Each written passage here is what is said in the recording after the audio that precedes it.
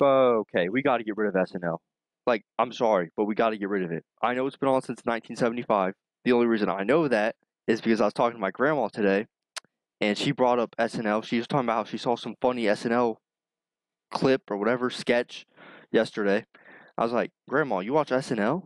She's like, Yeah, I've been watching it since the 70s. I was like, The 70s? How old is this show? This show's been on since 1975. I'm gonna tell you, nobody's watching the show unless you were there when the show premiered. I'm telling you, no new. They get no new audience. Nobody's watching the show because it's not funny. I didn't want to just come on here and just like be hating on the show because I've seen I've seen one episode.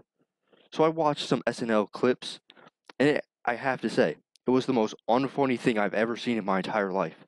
I would rather grab a like toothpick and just like shove it down my like throat like sideways than watch another SNL clip. It was bad.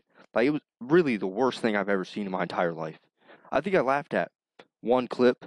I don't even think you would call it a laugh. I like half smiled.